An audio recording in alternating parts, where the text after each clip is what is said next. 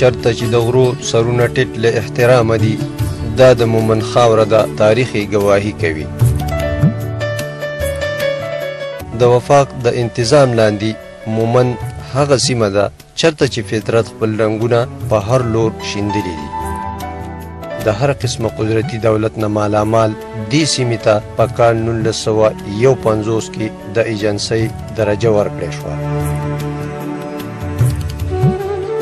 دا سیمه د پښتونخوا صوبې د ډیپټي کمشنر د اختیار لاندې و په کال 1903 کې د پیښور نه د مومندو هډکوارټر یکاون ته منتقل کړی شو موجوده وخت کې د مومندو هډ کوارټر په غرنۍ کې قائم دی مومند ایجنسی په جغرافیایي توګه لوی اهمیت لري د مومندو قطبي اړخ ته باجوړ سویل ته خیبر ختیځ ته ملکن او چارسده او سویلي ختیځ ته پیښور او دا رنګ لویدیځ ته د ګاونډي هیواد افغانستان ننګرهار ولایت واقع دی په دې سیمه د ابراهیم لنګ نواخله تر فرنګي استعماره پورې مختلفو قابضینو د حمله هڅې کړې دي ولې د دې سیمې بهادر او میړنی قام د هر استعمار په وړاندې لکه د اوسپنې دیوال جوړ شوی دی او په دې سیمه یې د غیرو قدمونه نه دی پریخي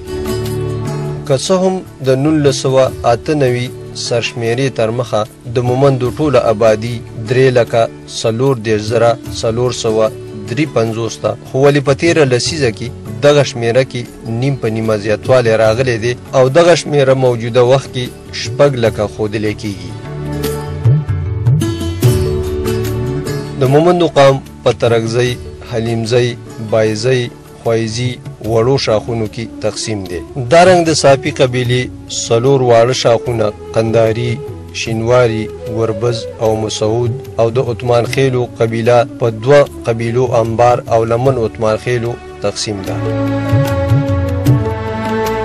د مومند په حواله د انګریز دور یو محقق آرچ مرګ لیکي چې د مومندو ایجنسۍ دشتې او غرونه یو بې کیفه منظر لري هر چرته چې نظر اچوي وچ غرونه او ناهمواره بي اوبو ځمکه په نظر راځي خو ولې د کال اتلس سوه اته نوي هغه نقشه اوس تر کافي حده پورې بدله شوې ده او د غرونو په لمنو کې د انساني ضرورت سهولتونو سره سره شنه پټي د پرمختګ اثار او جون جواک په نظر راځي مومندو کې د ټولو ملکانو یعنی مشرانو شمیره لزره یوسل درې دیش دارنګ وسوه نوی لیویس فورس او ویسوه څلور شپې تخاصدار فورس شامل دي د انتظامی تقسیم تر مخه مومندو ایجنسی په اتو تحصیلونو او درې سب ډیویژنو تقسیم ده لوور سب ډیویژن اپر مومن سب ډیویژن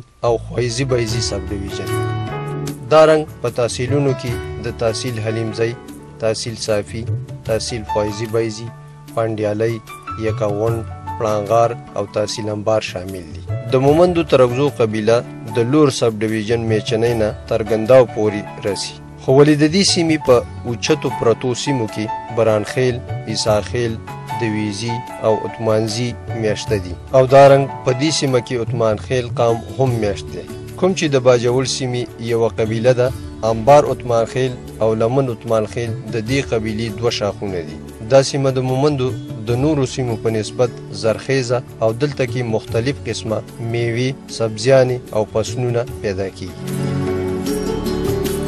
حلیمزی د مومندو یو اهمه قبیله ده چې د مومندو په منځنۍ حصہ کې واقع ده په دې سیمه کې د مومندو هډ کوارټر هم جوړ دی دغه وجه ده چې دا سیمه په ډیرو حوالو اهمیت لري دا سیمه په دوه قامونو کمالي حلیمزي او ګنداو حلیمزو مشتمله ده. د ساپو قبیله د کماني نه تر باجوړ او افغانستان پولې پورې خوره سیمه ده. دا سیمه شنه او د اوبو په لحاظ د نورو سیمو نه ښه ده. همدا وجه ده چې د دې قبیلې اکثره خلک د کر کروندې سره تړون لري. په شلمه صدۍ عیسوي آخره پورې دا سیمه د ناقابل رسايي په وجه د ژوند د بنیادي ضرورتونو نه محرومه وه، خو ولې په کال دوه زره دوه کې د حکومت په کوششونو دا سیمه د ترقۍ په ځغل کې شریکه کړې شو او دا رنګ په دې سیمه کې موجوده وخت کې د پرمختګ هلې ځلې روانې دي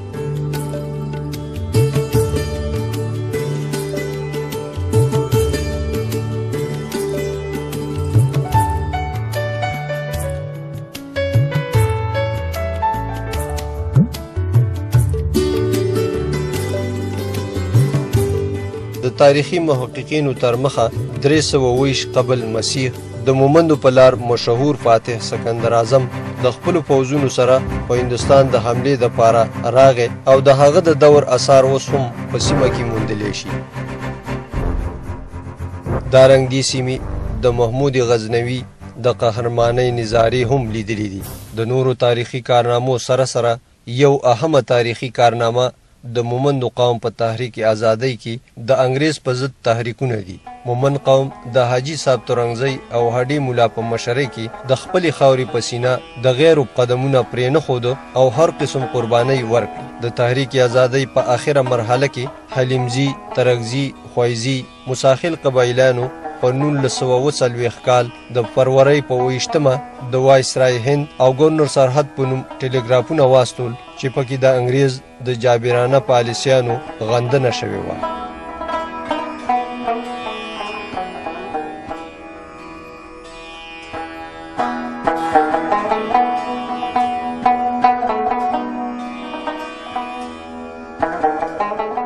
هر کله چې پاکستان په وجود کې راغی نو د نورو قومونو په شان مومندو هم د ازادۍ خوشحالۍ ونمانځلې او دغه سلسله تر اوسه روانه ده هر کال د ازادۍ ورځ په جوش او جذبې سره نمانځل کیږي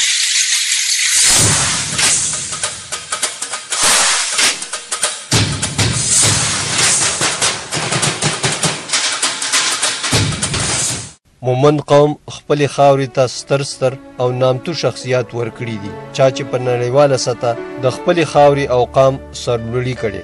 د یو تحقیق تر مخه د مومندو تاریخ زر کلونه زوړ تاریخ دی او په دې تاریخ کې اکثره مشهور شخصیات د ادب سره تړون لري او ادبي شخصیات هم د داسې پایې چې د دنیا ادبي شخصیات ورته پسخېږي.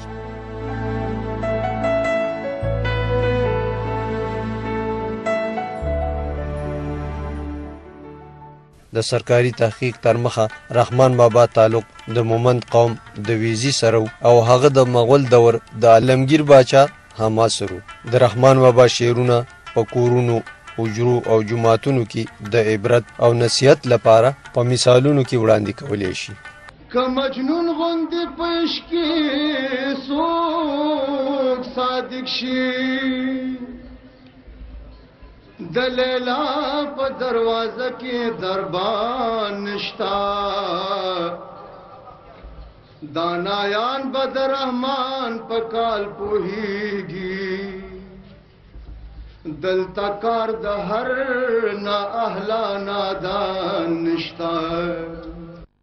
په نورو شخصیاتو کې اولنې پښتون خلاباز عبدالله حد مومند کاکاجی سنوبر حسین وزیر محمد ګل خان مومند قلندر مومند ایمن خان مومند میراجان سیال او داسې نور ګڼ شمیر شامل دي